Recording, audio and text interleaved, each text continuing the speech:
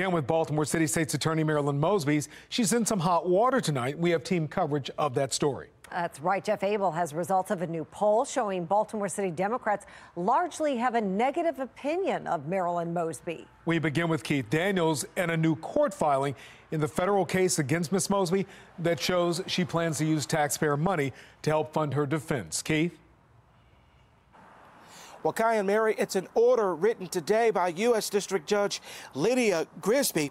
Mosby's attorneys asked for financial help using something called the Criminal Justice Act plan for the District of Maryland. And tonight, the request approved.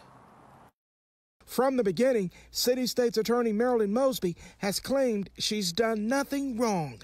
Repeated pushback on the federal charges against her, including perjury and filing false mortgage applications. I am innocent of the charges that have been levied against me, and I intend to fight. And tonight it appears she's using taxpayer money to help her fight. Fox 45 has learned in an order written July 5th, a federal judge has granted Mosby's request to have the court help pay for her expert witnesses in her upcoming trial. According to the court order, Mosby is financially unable, as argued by her attorneys, to obtain the services at this time to adequately prepare for trial. Taxpayer watchdog David Williams. This is a double whammy on the taxpayer in Baltimore City. Calls the move a blow to Baltimore taxpayers. For, for her to say that she doesn't have enough money and for the judge to almost agree with that really raises a red flag.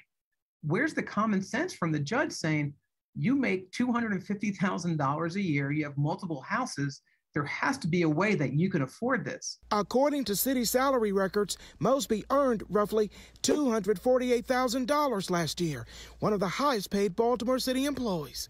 Still, she gets assistance from the court, which, according to legal scholar Douglas Colbert, may not be that unusual. There's a Supreme Court decision which ensures that whether you're rich or poor, uh, that you absolutely have the right uh, to ask the court for uh, finances if you need, if you can make a showing that the expert witness is a necessity for your defense. But for Williams, you have taxpayers paying twice now first for her salary, and now to help her fund expert witnesses. Bottom line for every criminal trial is to make sure that justice is done and to make sure that the defense has the witnesses it needs well, the judge says Mosby will have to pay back that money. She has to present a repayment plan to the court in 30 days. Meantime, her jury trial is set to begin September 19th. We're live tonight. Keith Daniels, Fox 45 News.